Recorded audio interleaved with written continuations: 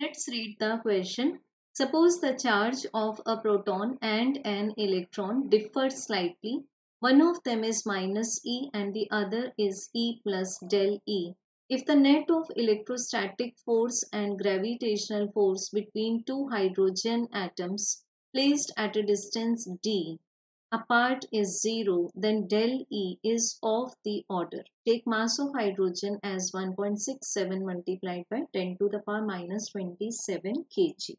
So so, बच्चों first of all तो हम कंसीडर करेंगे क्वेश्चन के अकॉर्डिंग हाइड्रोजन एटम अब इस पर जो चार्ज होगा क्योंकि यहाँ पर हम बोल सकते हैं कि एक पार्टिकल पर जो चार्ज है बिकॉज़ प्रोटॉन एंड इलेक्ट्रॉन है तो दोनों के चार्जेस स्लाइटली डिफर करते हैं क्वेश्चन के अकॉर्डिंग तो एक पर चार्ज है माइनस ई e और दूसरे पर चार्ज है ई प्लस डेल ई सो हमें नेट चार्ज मिल जाएगा डेल ई e.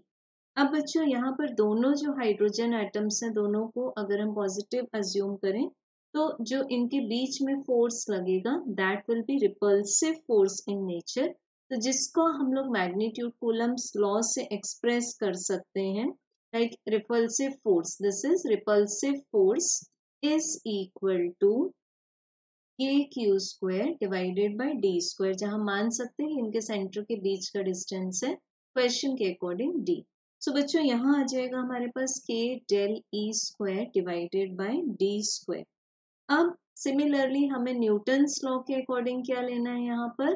क्योंकि ग्रेविटेशनल फोर्स की बात भी की गई है। तो न्यूटन्स ग्रेविटेशनल लॉ के अकॉर्डिंग हम लोग जो नेट ग्रेविटेशनल फोर्स लेंगे that is equals to G mass of hydrogen square divided by d square because gravitation force is directly proportional to the product of two masses inversely proportional to square of the distance. अब बच्चों given है हमें कि repulsive force and gravitational force का net force का answer है zero तो values put कर देंगे k del e square divided by d square minus G m h square divided by d square equals to zero तो यहाँ से हमें मिल जाएगा बच्चों del e square is equal to G m h square divided by k अब values put करेंगे। के क्या लेते हैं हम इलेक्ट्रोस्टैटिक में? One by four pi epsilon naught which is in SI 9 into 10 to the power 9 in SI system in free space.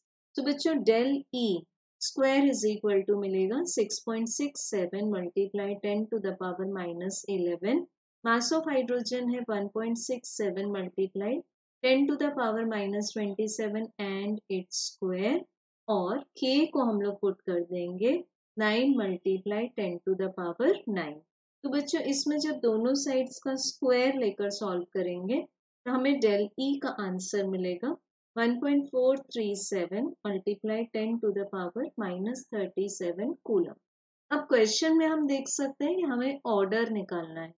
So order is 10 to the power minus 37. So correct answer is option number C. Thank you.